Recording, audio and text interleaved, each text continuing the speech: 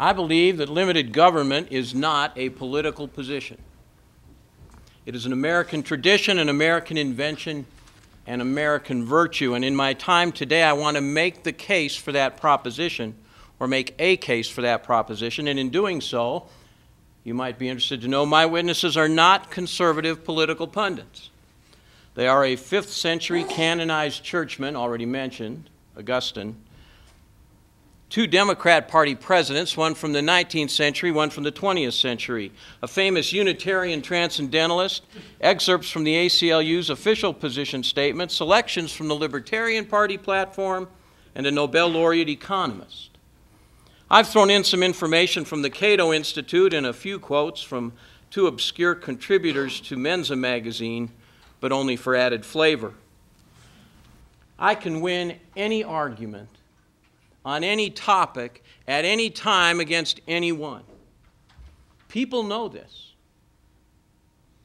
and steer clear of me at parties. Often, as a sign of their great respect, they don't even invite me at all. well, I'm very honored to have been invited to attend this party and make a case for limited government. State and local government spending has increased two and a half times faster than the growth of our economy since 1900. Federal non military spending has increased nine times faster than the economy has grown. And the percentage of our economy that's government controlled is now nearly twice what it was when I was born. 1953, if you're in on the pool, is the winning year. And nearly five times that of what it was in 1900. Since 1990 alone, federal spending, federal government spending, has increased from $1.3 trillion to $2.78 trillion. That's more than doubling. How many of you doubled your income in that period of time? And the rate of increase each year is going faster and faster. 2.1% of all people that have a job work for the federal government. Doesn't sound so bad. But 3.4% work for state governments and 10.4% work for local governments. That means one in six people who work work for the government at some level. And federal government employment numbers are expected to grow at 2% or more over the next decade. State and local government, 11% or more over the next decade. Big government doesn't just exist in Washington, D.C. It resides in state capitals, county offices, special district boardrooms, city hall. Doesn't this school know that? Government at all levels imposes taxes to fund its operations. In case you didn't know, the government doesn't have any money, it has our money. Not just federal income tax, but state income tax, sales tax, real property tax, licenses, permits, user fees, school fees are all taxes. According to the Tax Freedom Foundation, Tax Freedom Day for the average working person, that's the $40,000 a year person, was April 30th this year. That means one third of the average working person's income went to government. For some people, it's more than 60%. For me, last year, Tax Freedom Day was July 5th, and I'm not a wealthy person. Money spent by government is money that the earner cannot spend as he or she may wish. The earner cannot spend that money on education or charity or investment to support their church or other institutions they choose. Nobel laureate Milton Friedman noted in an interview on PBS more than 30 years ago, remember that, that it is impossible to do good with other people's money. He observed that one doesn't spend other people's money as carefully as you spend your own. He opines that government, 1972, has grown out of all proportion to its purpose and to its legitimate roles. That indictment was voiced more than 30 years ago. Not yesterday, not just when a party that maybe I don't like or you don't like took over Congress or government, more than 30 years ago. Writer and lecturer Douglas Dunn, in his online essay, it's in the bibliography, The Role of Limited Government in Free Society, writes that the appropriate role of limited government, as described by Professor Mallinson so eloquently, needs to be defined. The role of limited government in free society is to settle disputes and maintain the public order. That's it. The government does not have any business intruding into people's personal lives or any behavior or belief that does not affect other people absent their free and voluntary consent. Individuals should be free to make personal economic decisions. Government regulation should afford the least possible intrusion in order to protect public safety and order. Mr. Dunn recognizes the need for reasonable regulations, things like, oh, I don't know, stop signs, the Uniform Commercial Code, and basic criminal laws. But he is concerned that there's some in our country who want government to regulate private choices, to regulate sexual morals, or impose public policies about prayer or worship in public settings, yet those same groups want the government off our backs on matters of public policy about the economy or how employers treat their workers. You see, there's some things that government does that we might agree with and that agree with our view of what is right, and some things that we disagree with.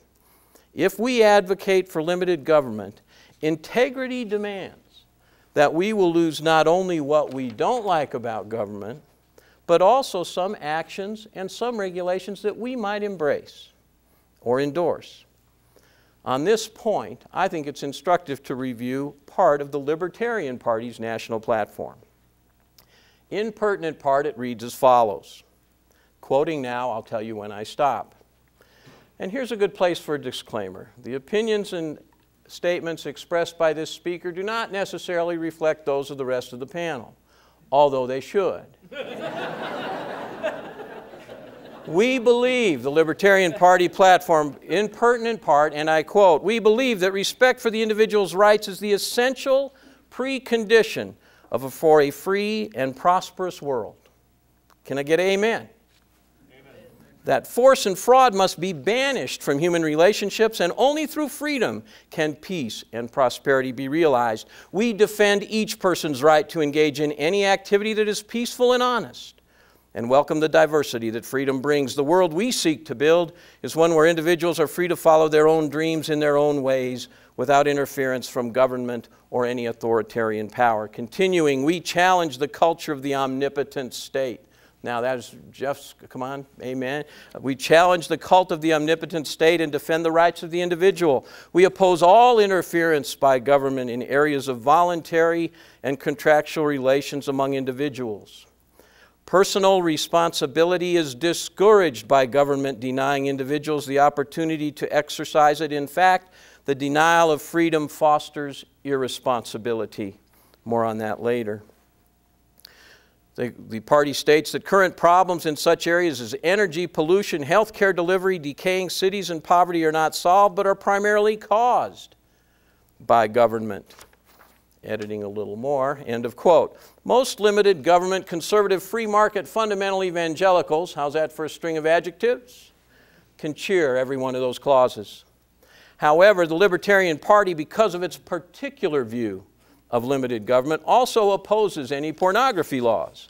They oppose any limitations on abortion, condemn parents who want to force their children to conform to a religious view at any age.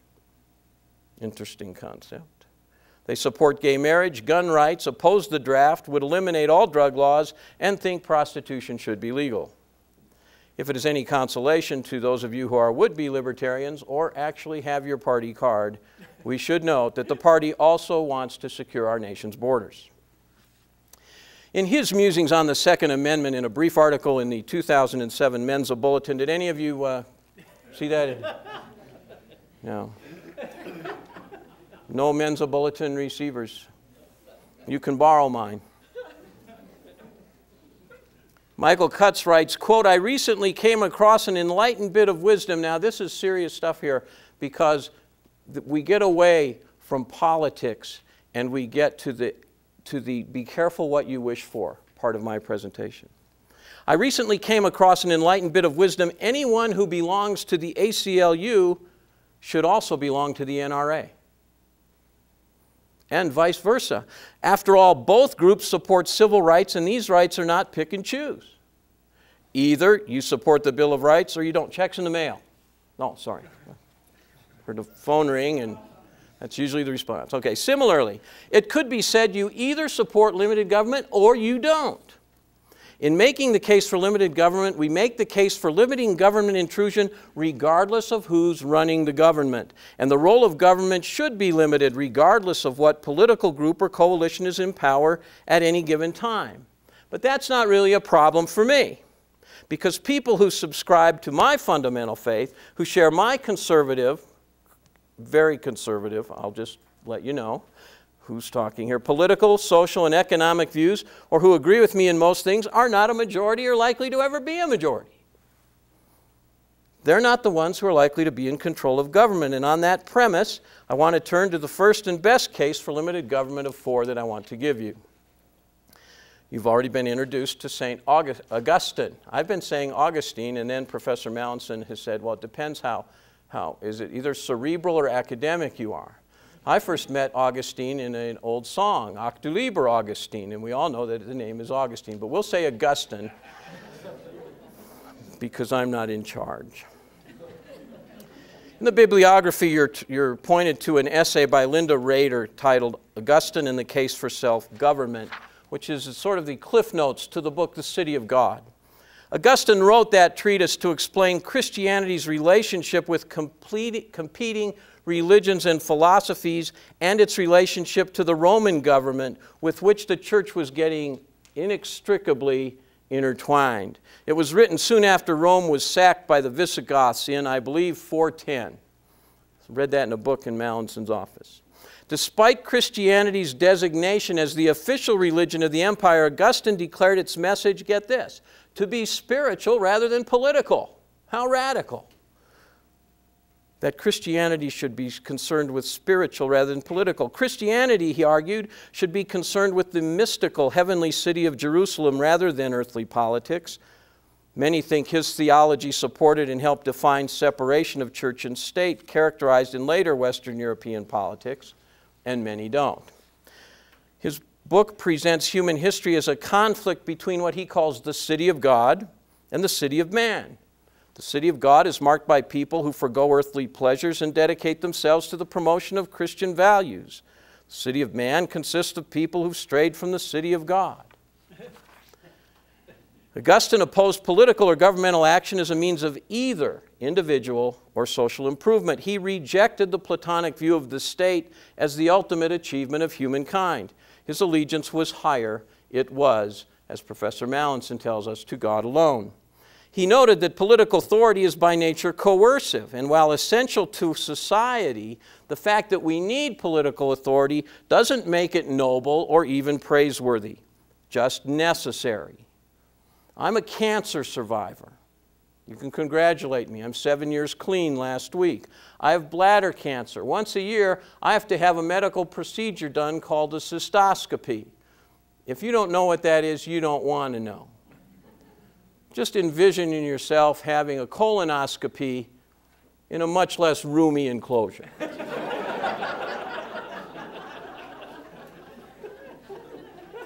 that procedure is necessary, but it is not noble, and it certainly is not praiseworthy. You might say government is like a cystoscopy. Necessary, yes, but that doesn't make it noble or praiseworthy. And as Jeff told us, it came into existence because of man's fallen state. So I'm going to skip ahead.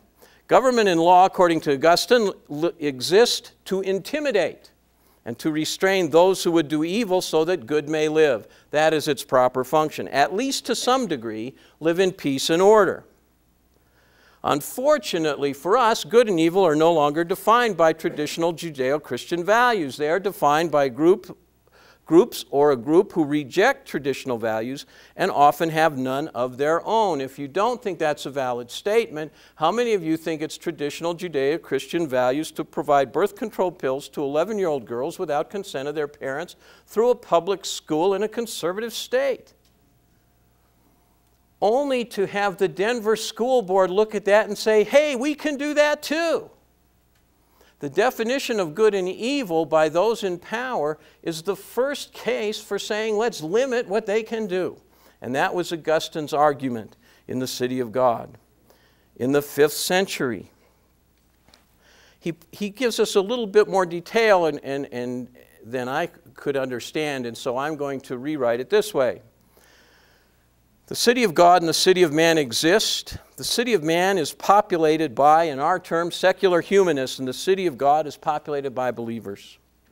The city of man is always much larger than the city of God and has a much different view than what the city of God has concerning good and evil, what is acceptable, what is sacred, what is profane, or whether they even exist. Accordingly, city of God people should not want city of man people making any more rules than are necessary to carry out the few values shared by the two camps. And he said those values are peace, tranquility, and order. I would add equal justice under law and at the least neutral courts for resolution of disputes. Ms. Raeder's comment on Augustine is that there can be no genuine common agreement upon which earthly government is based because the diversity in values and perspectives in our contemporary society preclude that. 50 years ago, it really didn't matter too much who got elected president or who got elected to Congress because the views of people weren't that different and they were all like the views of my mom and dad. They really were. Shockingly enough, when you're bored and have uh, time, read about five or six John F. Kennedy speeches on the economy and on social issues, and then read five or six Reagan speeches. And you know what you're going to find? They're the same. President Bill's nodding his head. That's so good because I walked in here and I saw this fruit. And last night I watched Shakespeare in Love and I thought, oh, I didn't know they were giving people fruit to throw at the presenters. but I want you all to know that the president just nodded his head in agreement with me, so just keep your banana peels to yourselves. Thank you very much. All right. Sorry. I didn't mean to digress.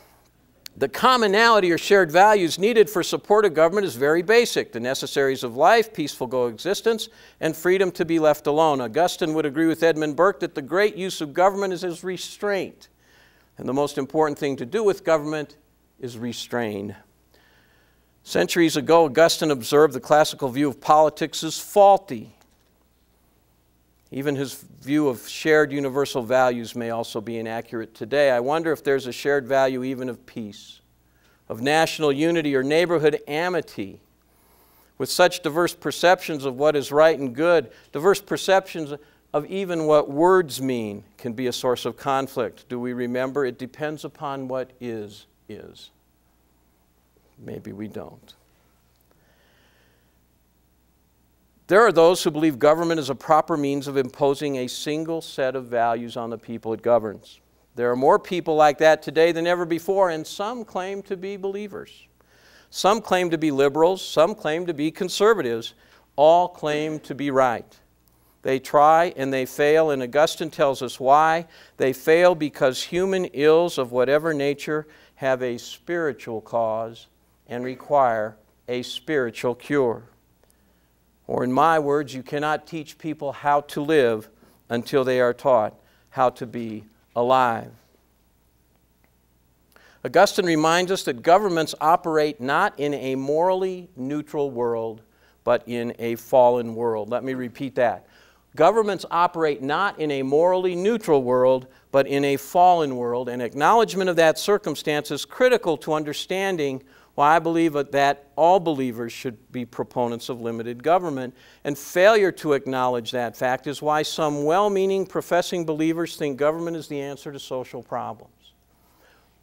My home church is also my mission field because of that same drift.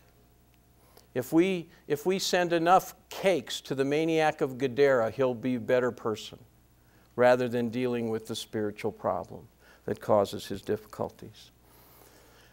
August, Augustine tells us that only free willed love engenders that reordering of the soul, essential to any genuine spiritual regeneration and thus to any genuinely virtuous behavior. Growth in government and proliferation of laws, my words now, are evidence of the breakdown, not the flowering of a nation or civilization. People need to absorb the rules of society, the shared values, through a process of enculturation. But that doesn't happen when we have so many laws and so many rules that there can be no acculturation, no teaching of manners, no teaching of how to be polite. The need for government in a society is reduced when there are shared, non negotiable, fundamental values and self governing, mature, responsible, well behaved individuals, families, and groups. And big government removes the incentives for those things through coercive means. You know it's true. You don't need to read a study. You need to listen to anybody under the age of 30, and if you're one of them, I apologize. Talk. The expectation that somebody will do for them. My daughter is a graduate of the University of Colorado Boulder, Phi Beta Kappa, thank you very much, takes after me. she got a major there in world dance and culture, and she teaches for the Colorado Ballet. She also got a degree in religious studies. And she went there to learn what other people think. She went there to learn how to deal with people that weren't like her. And she became a little like them. But her faith and her views were strengthened even more and were affirmed. I encourage us not to be afraid to lock horns with people who have different ideas because truth is stronger than non truth. The nicest thing about telling the truth, my daddy used to tell me, is you don't have to remember what you said. Write that down, share that with somebody. It'll keep you out of trouble when you're, when you're introduced as having just come from a sentencing like me, you'll be able to say, it wasn't my sentencing. Thank you very much. Augustine makes the case for limited government in this concise way the people in government don't share our values. Some government's necessary, but it should be limited to necessities so that believers are not coerced into actions in conflict with their fundamental beliefs, nor prevented from living in conformity with their faith. That's hard to improve on that. So let's just amplify by looking at the case made by the ACLU, John Kennedy, Thomas Jefferson, and Ralph Waldo Emerson. How's the time, Captain? We got a few minutes left. All right. It's not only conservatives in the media, government, and education that advocate for limited government, nor are their arguments or personalities always credible. Entertaining, yes. So I want to turn to what I'll call liberal icons for endorsement of limited government. According to their official website, the ACLU espouses the view that religious freedom is a fundamental right that is guaranteed by the First Amendment's free exercise and establishment clauses and encompasses not only the right to believe or not believe, but also the right to express and manifest religious beliefs. All right. These rights are fundamental and should not be subject to political process or majority votes. They go on to observe the Constitution does not endorse any religious creed, does not recognize any power of government to decide theological questions. All right. Recognizing that religion plays a prominent role in public life, the ACLU endorses an active public presence for religion, but differentiates that from an active government presence. So here's the argument. The bigger government is, the more areas into which government control or money is injected, then the more areas in which the ACLU will advocate the absence of any religious influence. How's that for an argument for limited government? If schools are government schools, God is out, but in private schools, God is in. If the government takes a dollar from you but then gives it back to you as a grant, now it's government money and God can't be there because that's government. You can go to the park, but not the government park. Wait a minute, all parks are government parks. Why can we have the Ten Commandments on the Supreme Court building, but we can't have them in the Texas Supreme Court building? That's government, because that was a government dollar taken from somebody and given back and told how it could be spent. So, smaller government means smaller godless zones. Very simple. You might be surprised to learn the ACLU's official position also includes this tidbit. Children are free to pray in public schools as individuals or in groups. That's in their platform. Perhaps we should join just for a while and, and write notes and say, why don't we just uh, support that part of the platform? It's politics, I guess. Let's shift to John Kennedy. You might remember John Kennedy if you were born before me. Both of you. Former President John Kennedy, in his inaugural address, said these words The rights of man come not from the generosity of the state, but from the hand of God. John Kennedy. We shall pay any price, bear any burden, meet any hardship, support any friend, and oppose any foe to assure the survival and the success of liberty. That wasn't Reagan, that wasn't Jimmy Carter the Baptist. That was John Kennedy. His challenge that each citizen of this land, quote, ask not what your country can do for you, but ask what you can do for your country, might well be the battle cry of proponents of limited government. Kennedy closed his only inaugural address with these words With a good conscience, our only sure reward, with history, the final judge of our deeds, let us go forth to lead the land we love, asking His blessing and His help but knowing that here on earth God's work must truly be our own. That is exactly the point. Government is not the virtue, individual responsibility and contribution are virtuous. Kennedy made the case for limited government and called on us to serve each other, not to be served by government. Thomas Jefferson, Democrat Party icon, was elected by Congress, not popular vote took 30 hours of debate in the Congress, and he was finally elected. Given that contentious election, it's not surprising that he gave a speech of conciliation, proclaiming in pertinent part, quote, We have yet gained little if we countenance a political intolerance as despotic, as wicked, as capable of as bitter and bloody persecutions as that religious intolerance which we recently escaped. He was arguing against political oppression and intolerance. What do you think Thomas Jefferson, the first Democrat president, would have to say about our concept of political correctness? He would probably shudder. Big government has become that political intolerance, as despotic and as wicked and as capable of persecution as any government. Jefferson continues, I believe ours the strongest government on earth, the only one where every man at the call of the law would fly to the standard of the law. Sometimes it's said man cannot be trusted with the government of himself. How can then he be trusted with the government of others? Or have we found angels, etc., etc., reference Mr. Mallinson's remarks. Shall we leave our people? A wise and frugal government shall restrain men from injuring each other and leave them otherwise free to regulate their own pursuits of industry and improvement, and shall not take from the mouth of labor the bread it has earned. This is the sum of good government. I worked till July 5 to give the government money. Everyone in this room worked till at least April 20 to give the government money. And the first Democrat says that's wrong. That's wrong. That's not Rush Limbaugh. That's not Ronald Reagan. It's not even Dennis Jacobson. That's Thomas Jefferson.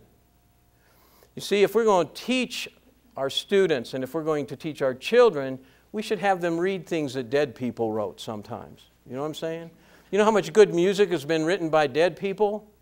A bunch. But in schools today, we don't read what people said about issues today, a week ago, a month ago, a year ago. It's as if all these issues were just invented. No, there's a long history, a tradition of limited government. It's not politics, it's an American tradition.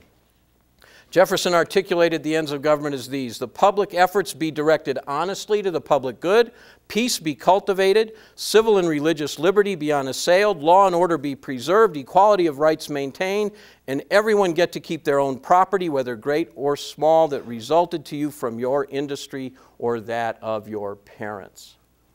Oh, let's nominate him. What do you say? All right. That's limited government, and Jefferson endorsed it. Ralph Waldo Emerson was a liberal, not a conservative, delivering a speech to the Phi Beta, Cat, Phi Beta Kappa chapter at Harvard in 1837. This is my favorite piece of semi academic literature. It's the essay called The American Scholar, and if you haven't read it, read it, you need to read it every day. Not every day. You need to read it on days that end with a Y. All right.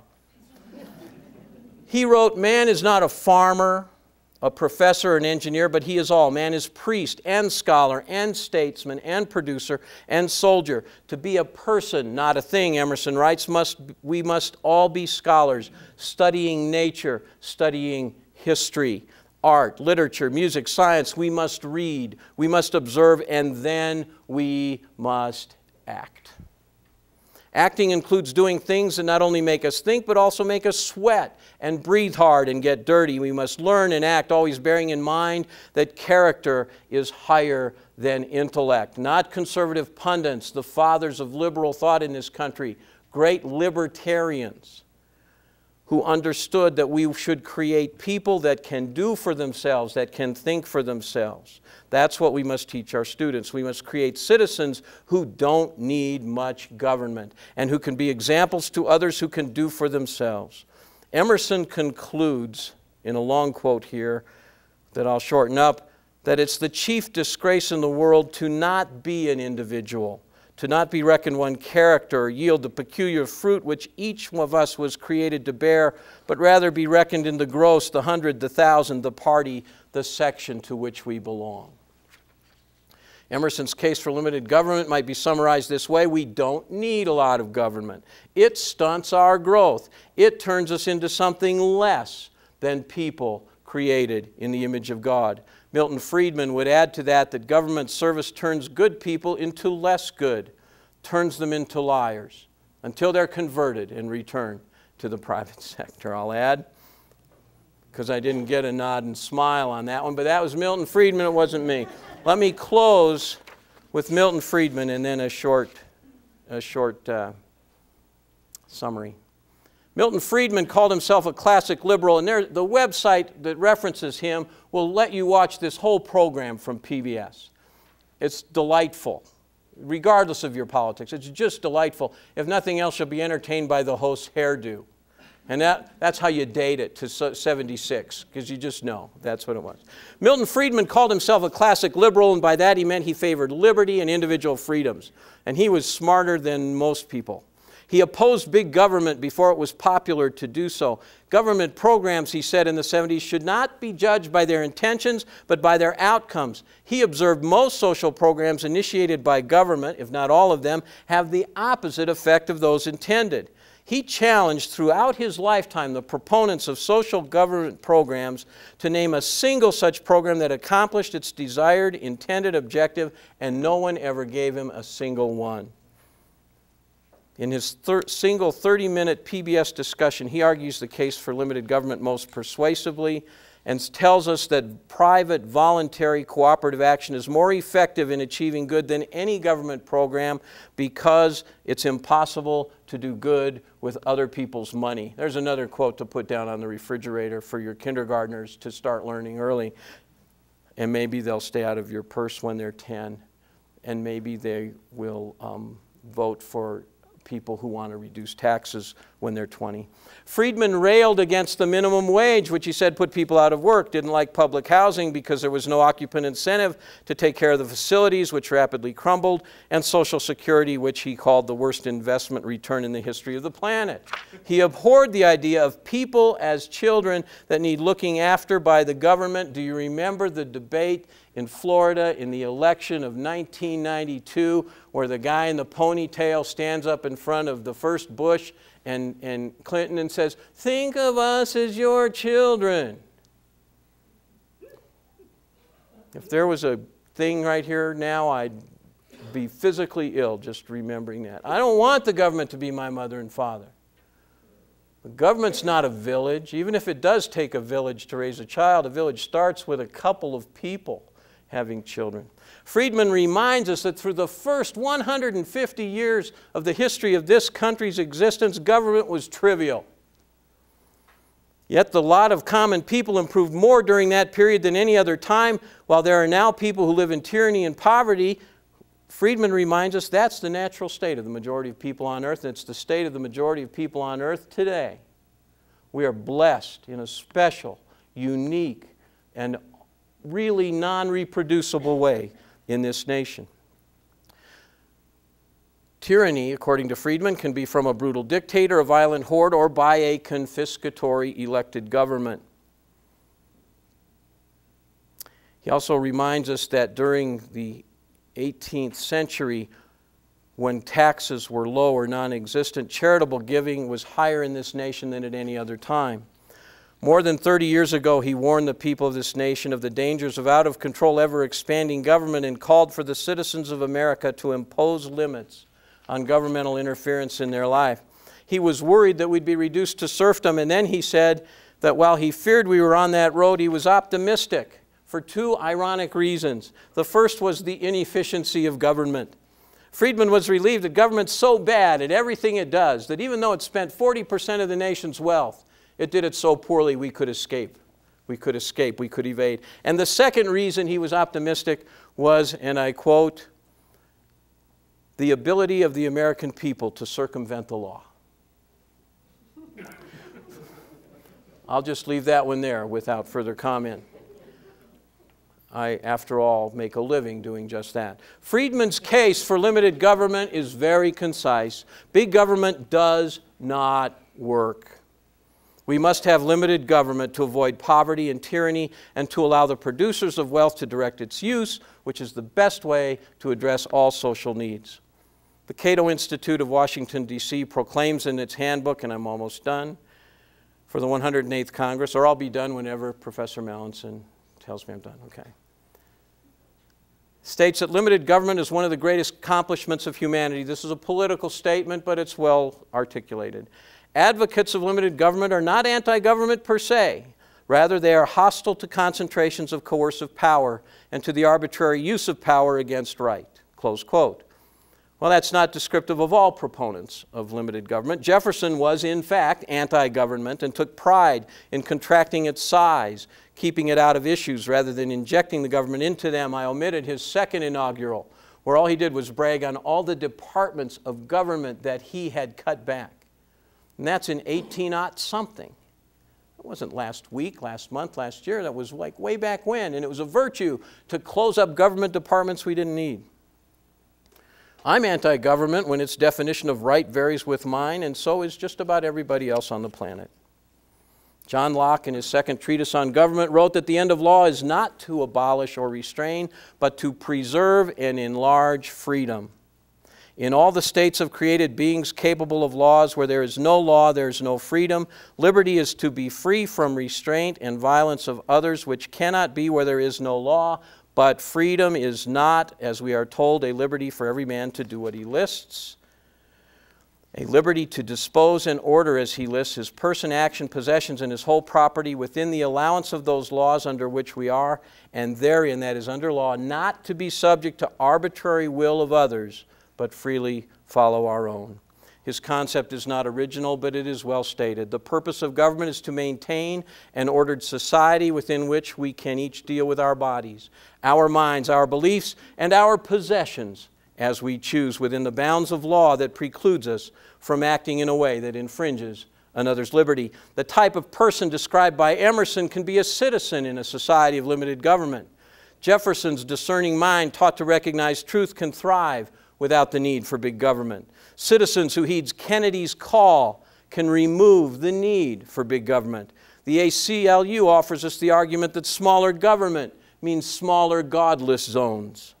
Milton Friedman admonishes against letting the government spend too much of our money, and the Libertarian Party reminds us and confronts us with the fact that supporting limited government can lead to people doing a lot of things we don't think they should.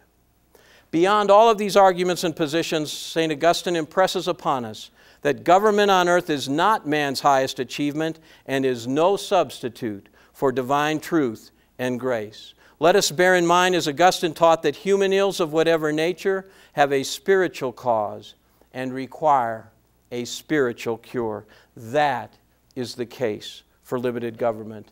That is the truth we should teach.